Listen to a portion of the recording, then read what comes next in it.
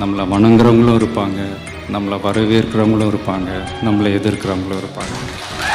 தர்மம் தாங்க ஜெயிக்கும் நியாயம் தாங்க ஜெயிக்கும் ஆனால் கொஞ்சம் லேட்டாக ஜெயிக்கும். அழகும் ஆடம்பரமும் இருந்த ஆயிரம் பேர் கூட ஆசையாக பழகுவாங்க. அன்பாக இருந்தால் பழகுற பத்து பேர் கூட உண்மையாக இருப்பாங்க. சமயத்தில் நம்ம சைடு இருக்கிறவனே சேம் சைடு கோல் போட்டுருவான்.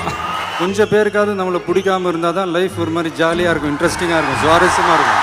தூக்கம் ஏற்பட்டால் மழை பெய்கிற மாதிரி ரொம்ப நெருக்கடி ஏற்பட்டால் இந்த தகுதியான மனிதர்கள் ஆட்டோமேட்டிக்காக உள்ள கொண்டாந்து சேர்த்துரும். அவன் லீடராக மாறுவான். அவனுக்கு கீழே நடக்கும் பாருங்க ஒரு சர்க்கார்.